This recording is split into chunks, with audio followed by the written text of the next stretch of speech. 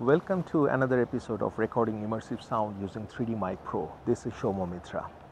Often less is more, and this is especially true when we are filming alone in a dynamic environment. So, what you need is a very lightweight rig with very little adjustment and control.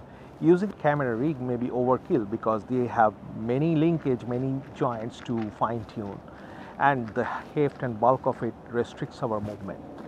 So what I have done, uh, I just cut a piece of aluminum mm, flat. It comes from an aluminum ruler.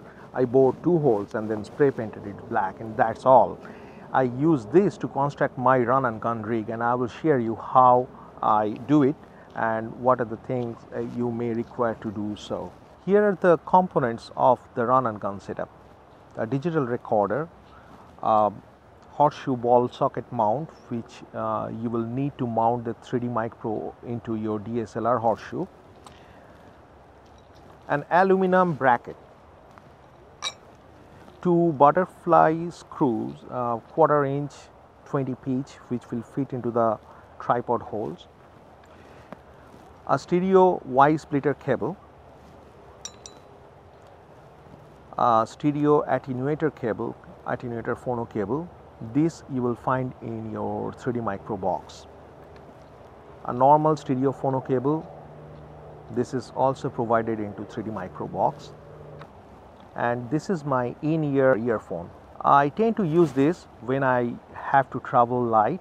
The in-ear earphone virtually blocks any external sound. If uh, you are in a high ambient noise situation, this will prevent the outside noise Uh, to be heard over your monitoring sound. And of course, here is your 3D Mic Pro and your DSLR. So let me put this rig together.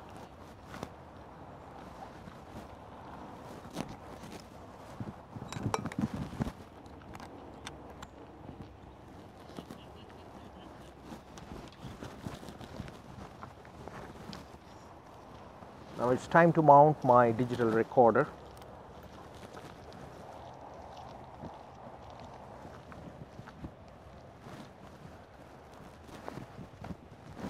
So once it is mounted, this is basically the run and gun setup.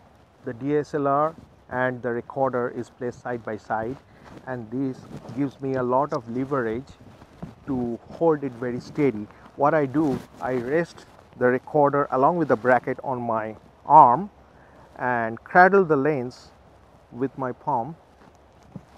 In this setup, my right hand is free I can use various controls and with my left hand, my thumb and uh, index finger, I can even um, control the focusing or zooming.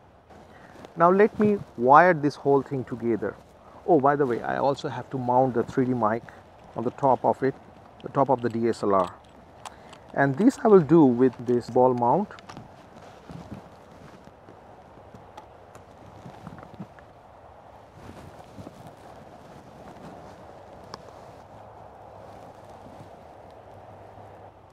Let me start wiring it up. I am using the stereo phono cable to connect with my 3D Mic Pro output to the microphone input of my digital recorder. In this case it is located at the bottom of the recorder. Next I will connect my camera's microphone input to the headphone output of the recorder and this time I will be using the stereo attenuator cable which comes along with 3D Mic Pro.